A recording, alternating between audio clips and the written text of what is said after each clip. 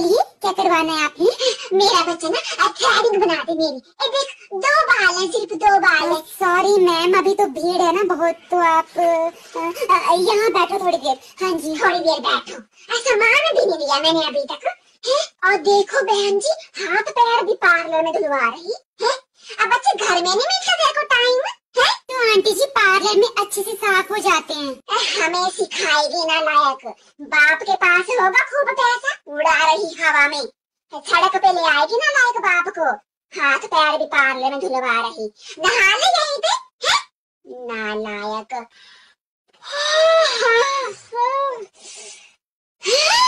लड़के भी आ रहे हैं, यहाँ तो आई। बहन जी, लड़कों का बुट्टी पार्लर भी यही है।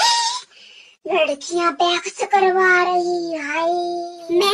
आ जाइए। आ गया मेरा नंबर परस कहा अपने साथ ले आती। मैं चोरी करना